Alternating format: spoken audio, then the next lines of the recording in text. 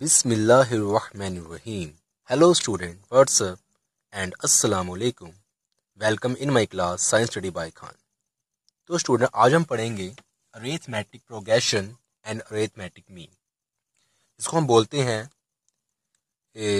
Short में A P and A M तो मैं पहले बता दूँ ये अरेथमेटिक जो प्रोग्रेशन का फॉर्मूला क्या है और अरेथमेटिक मीन का अपना जो फॉर्मूला क्या है तो जो एपी का जो फॉर्मूला है स्टूडेंट वो आप ध्यान रखना, किसी अगर हम एपी निकाल रहे हैं जैसे कोई हम एनट टर्म की एपी निकाल रहे हैं तो इसमें एनट टर्म हमने फाइंड करनी होती है तो उसका वो फॉर्मूला होता है, वो होता है A one plus N minus one D okay और जो ए एम जो निकालने का फॉर्मूला होता है, इसका जो फॉर्मूला स्टूडेंट हमारा होता है तो ए हम अगर देखें तो वो इक्वल होता है A plus B upon two ठीक है? इसको हम सॉल्व करते हैं प्रूव करते हैं कि कैसे हमने ये फॉर्मूला बनाया। इस फॉर्मूले को और इस फॉर्मूले को, ठीक है? तो स्टूडेंट फ़र्स्ट ऑफ़ ऑल जो एपी हमारा होता है, पहले हम एपी जो हमारी, हम बात कर रहे हैं सीक्वेंस जो एपी हमारी सीक्वेंस है, उसके बारे में पढ़ेंगे। सबसे पहले जैसे हमारे पास आ गया two four six eight ten twelve ये हमारी एक सीक्वेंस है। इसको हम सीरीज़ नहीं कहेंगे, क्योंकि अगर इसमें यहाँ लगे कॉमे लगे हुए हैं, इसमें हमारा प्लस या माइनस नहीं है। अगर ये यहाँ पर टू और फोर के बिटवीन प्लस हो या माइनस हो, और वो कंटिन्यूसली चलता जाए तो उसको बोलते हैं सीरीज़ और ये सो ओके स्टूडेंट तो ये क्या सीक्वेंस है? तो स्टूडेंट अब हमने क्या देखना है? ये जो टू है, ये हमारा क्या है? ए वन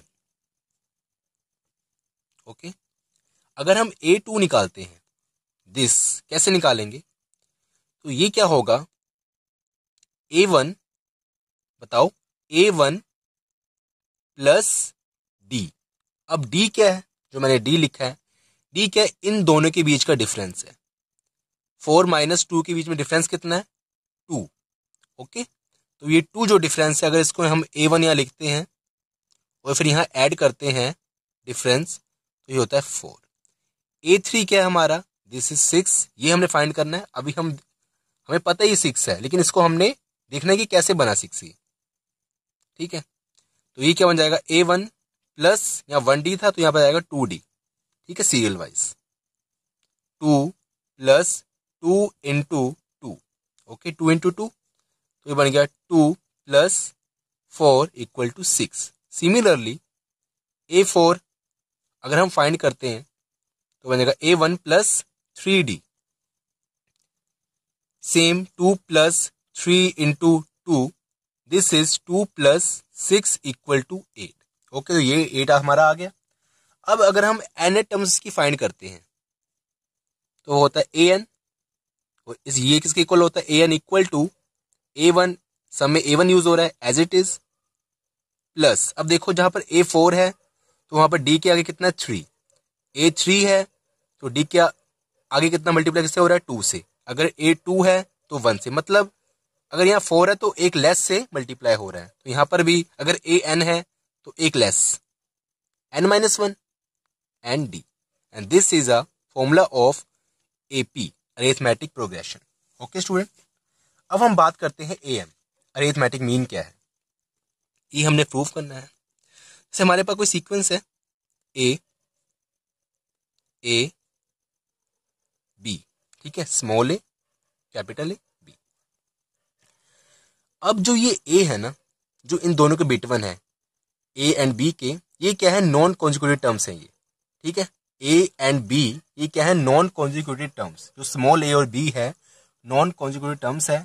और ए क्या है? इन दोनों के बिटवीन क्या है? अरेथमेटिक प्रोग्रेशन क्या लिखते हैं हम? A is A M between A and B okay हम इसको हम करते हैं देख कैसे? ए अगर हम देखें, इसका और इसका जो डिफरेंस है इसके इसके डिफरेंस से इक्वल होगा। कैसे?